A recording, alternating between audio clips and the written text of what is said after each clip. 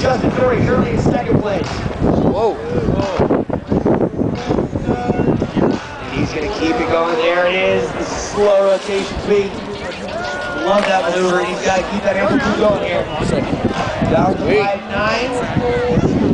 And he finishes it off with three. That was huge. Oh.